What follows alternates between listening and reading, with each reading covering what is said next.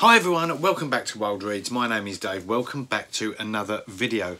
And welcome back. I can't believe we're doing the October TBR already. This year is absolutely flying along. But October, it is nearly. This is going out on a Wednesday night, I think, just a few days before the start of October. So I'm here to tell you about what I'm going to be reading in the month of October got some really really exciting books lined up for October. I've got seven in a little pile here but I have got eight penciled in but one of them I haven't got yet. So the one I haven't got I will tell you about it's going to be Melmoth. I'm not sure when in the month I'm going to get to it but I'm going to be reading Melmoth by Sarah Perry. I haven't bought it yet. I'm going to buy it on bookshop day which is Saturday the uh, Saturday October the 6th. I'm going to my local independent bookstore to buy it um, because Bookshop Day is all about supporting your local independent bookshops and I'm sure you'll hear me wanging on about it on Twitter and on the gram if you follow me on those platforms. So that's the first book I've got penciled in for the month of October. The second book and probably the first book in the month that I'll be reading is this little beauty. This is The Corset by Laura Purcell. Can you see the beauty in this cover? Look at that. Absolutely gorgeous. I'm going to be buddy reading this with my friend Vanessa, who's a brilliant um, book blogger, book blogger and classic movie blogger. Um, and I shall link Vanessa's uh, blog in the show notes down below. But we read back in July, I think it was, we read Laura Purcell's first book, which was called The Silent Companions, which was utterly fabulous. Really, really, we, we both really, really loved it. And we were, during the reading of that, we discovered that the corset was uh, due to drop imminently. Um, and so it came out last Thursday. It is absolutely gorgeous. I've heard nothing but good things about it. Uh, so I'm really, really looking forward to. I, and I haven't even hauled this because I only got this at the weekend. So this hasn't even appeared on any haul yet. But just to blurb it for you, it says here, and look at this, look at the end papers on this, look at that. Isn't that amazing? I love a peacock feather. Dorothea, Dorothea, and Ruth, prison, visit, prison visitor and prisoner, powerful and powerless, Dorothea Truelove is young, wealthy and beautiful. Ruth Butterham is young, poor and awaiting trial for murder. When Dorothea's charitable work leads her to Oakgate Prison, she is delighted to have the chance to explore her fascination with phrenology and test her hypothesis that the shape of a person's skull can cast light on their darkest crimes. But when she meets teenage seamstress Ruth, she is faced with another theory that it is possible to kill with a needle and thread, for, for Ruth attributes her crimes to a supernatural power inherent in her stitches. The story Ruth has to tell of her deadly creations of bitterness and betrayal, of death and dresses, will shake Dorothea's belief in rationality and the power of redemption. Can Ruth be trusted? Is she mad? Or is she a murderer? I absolutely cannot wait for that. So that is the first read of the month. Another book I'm greatly looking forward to reading is Kate Atkinson's transcription. I really want, I've got some real big titles this month. Think of it as an adventure. Perry has said right at the beginning of all this, and it seemed like one. A bit of a lark, she had thought, a girl's own adventure. 1940, 18 year old Julia Armstrong is reluctantly recruited into the world of espionage sent to an obscure department of MI5 tasked with monitoring the comings and goings of British fascist sympathisers. Transcription is a work of rare depth and texture. Really, really looking forward to that. I'm not. I've not read a great deal of Kate Atkinson. I have a great deal of Kate Atkinson on my shelves, but I, it's one of those authors that I just never get round to reading. So, really, really looking forward to getting my literary teeth stuck into transcription. Also, Kate Atkinson is one of those rare authors that um, that so she's known as a as a literary author, but her sales are that of a commercial author. So she's got that real crossover. Very interesting. Very much looking forward to that. I oh, I dropped that one there.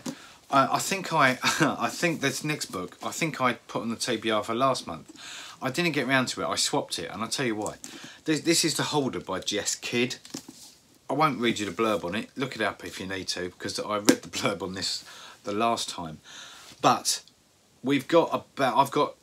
I'm in the middle of Sally Rooney's first book, Conversations with Friends, at the moment because I want to read Normal People next month, which I have here. Um, and I also, before the end of this week, going into the weekend, I want to read uh, Jess Kidd's first book, which was called Himself, which I've got lined up on the TBR shelves over there. I should be that's going to be my weekend read this week. Uh, so I wanted to read that before I read The Hoarder. Not that the two stories are linked, but it's just me being a bit OCD. I wanted to read the author's first book before I read their second. That's the only reason. I know it's strange. Please don't judge me.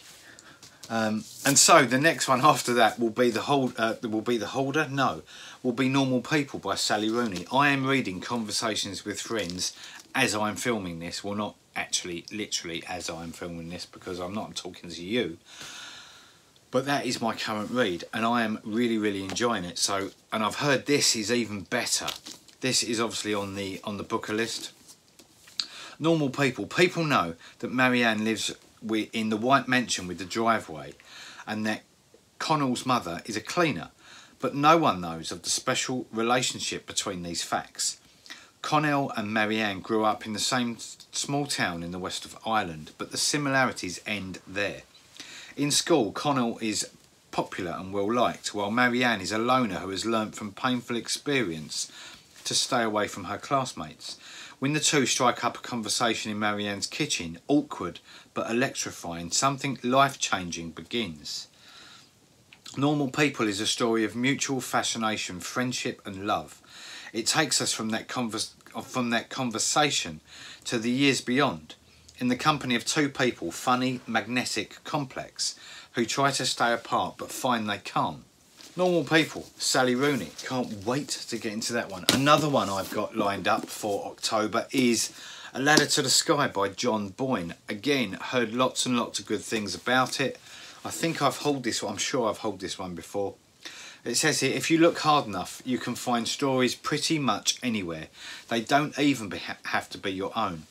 Or so would be writer Maurice Swift decides very early on in his career. A chance encounter in a Berlin hotel with celebrated novelist Eric Ackerman gives him an opportunity to ingratiate himself with someone more powerful than him. For Eric is lonely and he has a story to tell. Whether or not he should is another matter. Once Maurice has made his name, he sets off in pursuit of other, other people's stories. He doesn't care where he finds them or to whom they belong, as long as they help him rise to the top. Stories will make him famous, but they will also make him beg, borrow, and steal. They may even make him do worse. A dark and twisted psychological drama, A Ladder to the Sky shows how easy it is to achieve in the world if you are prepared to sacrifice your soul. That's my kind of blurb. That sounds absolutely brilliant, and I am very much looking forward to reading that. That's A Ladder to the Sky by John Boyne. A thriller for the month a thriller. I usually like to include a thriller. A thriller this month is going to be this. This is Cross Her Hearts from Sarah Pinborough. I can't remember if I've read Sarah Pinborough's first book. I'm not sure. What was the name of her first book? Behind Her Eyes. I don't think I have, but I have got it. It's somewhere. It's somewhere in this room. Not sure where, but it is somewhere. Um, so this one looks really, really good as well. Someone is living a lie, but who? Is it Lisa? Haunted by a tragic past, all Lisa wants is a quiet life with her daughter Ava. And when she meets a new man, things seem to be falling into place. But Lisa is hiding a secret so momentous it can shatter her entire world. Is it Ava? When 16 year old Ava saves a young boy's life, she becomes a local hero, but never in a million years could she have anticipated the fallout of, of her actions. Marilyn has the perfect life her husband, her job, her house. She seems to have it all. But she can never admit to her best friend Lisa the lies she tells herself to get through the day. One moment will change these three women's lives forever, and the secrets they've all been keeping could destroy them all. Brilliant. I do love, I do love a thriller, really do. Uh, and that, that one, look at that cover. That is incredible, isn't it? Cross Her Heart, Sarah Pinborough.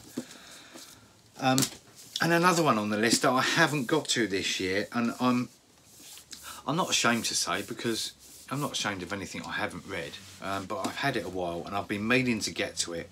And it's one of those books that I've seen on the immediate TBR shelf over there, and I, some of them can wait till next year. Um, some of them cannot, and this was one that cannot. Uh, this is Little Fires Everywhere by Celeste Ng. Again, heard lots and lots of good things about this, and I just haven't got to it yet.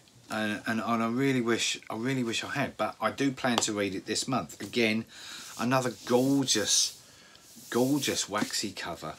Uh, in Shaker Heights, a placid, progressive suburb of Cleveland, everything is meticulously planned, from the layout of the winding roads to the colours of the houses to the successful lives its residents will go on to lead. And no one embodies this spirit more than Elena Richardson, whose guiding principle is playing by the rules. Brilliant, can't wait to read that.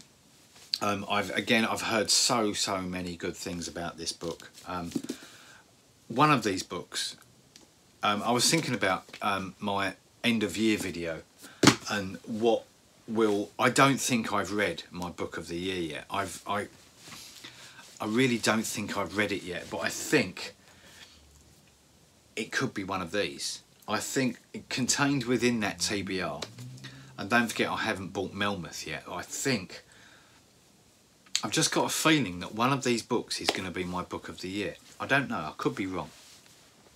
But I've read some good books this year. It's been a really good, apart from a couple of months that have been a bit iffy, it's been a really good reading year and I've read some absolutely fantastic books this year. I'm really looking forward to making those uh, those end of year videos in December. I'm not wishing the year away, it's going quick enough as it is. But um, it will be interesting to see what my book of the year is this year. Anyway, I've rambled on enough. Um, I'll let you get back to your lives. Thank you for watching. I will be back on um, on when will I be back? I might be back later in the week. In fact, I probably will be because I've got to announce the winner of the giveaway, the competition.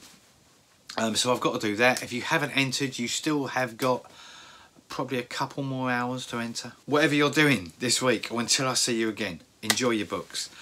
And I'll see you back here very soon for another BookTube video. Until then, take care. Bye-bye.